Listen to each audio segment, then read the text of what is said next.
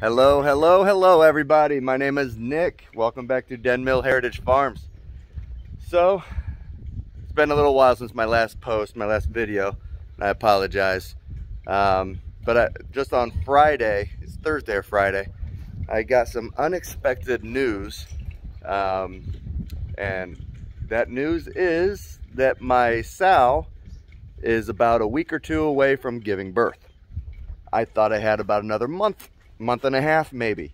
So I was not prepared when it came to farrowing and now I uh, have to get this thing put together pretty quick.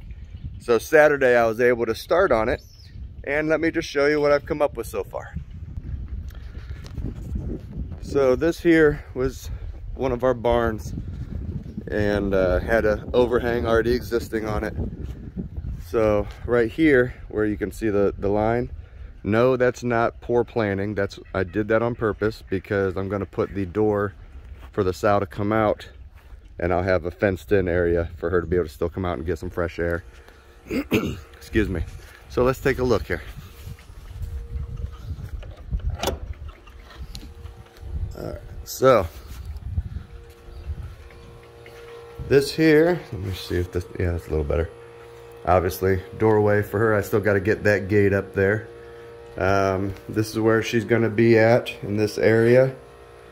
Um, these bumpers here are about 12 inches off the ground. And then the bumper there goes corner to corner. On the other side of that, let me show you. You can see it's open, so, so they can still get underneath the, the piglets, that is. There's going to be a heat lamp right here. So the reason you do that is when the mama's here and she goes to lay down, the piglets need a place to escape to so they don't get laid on and killed. So they'll have their own heat lamp and heat source there so they don't have to rely on mama's heat. And uh, they'll be able to survive that way. Um, now, this is not going to be a heated room. This is just going to be a block from the elements. And the heat lamp is going to be plenty for them to be able to survive. Uh, this right here is just a little walkway for me because uh, I've, I've heard that mamas can be very protective of their babies naturally um, for the first, you know, couple few days possibly. So when it, if something happens with the heat lamp and I have to address it, I don't want to be challenging mama to go and try to fix the heat lamp. So I had to make sure I had a walkway here. And then here's the same thing and I did not plan this right because it was on the fly. I have my water right there and I should have included right in here the walkway to the water um, but I didn't think of it until it was too late. So hopefully I won't be in a, a bind when it comes to that. There's going to be another gate here. I have to finish this right here and then put the gate. Um, and then this, this one turned out to be a little larger of an area um, it wasn't planned to be that way, but like I said, it was kind of on the fly, so that's just what happened. Um, this is where that door to go out to that outdoor area is going to be. So, so that is that. Um, yeah, we we found that out. That I noticed that that her belly had dropped like big time, almost overnight, and uh, and her teats started filling up with with you know, milk naturally. And uh, and I thought, man, that I I don't know if they do that that quick in, in pregnancy. So I I reached out to a couple of my friends and and um, and they confirmed that she is within two weeks of giving birth.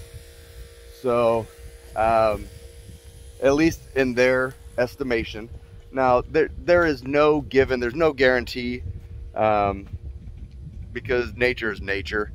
So and so if, if it ends up being still two or three weeks from now, that's fine. I still needed to get this ready. Um, but yeah, I just wanted to uh, do a quick update on that.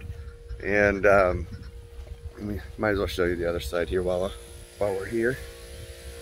Still have to clean this up a little bit.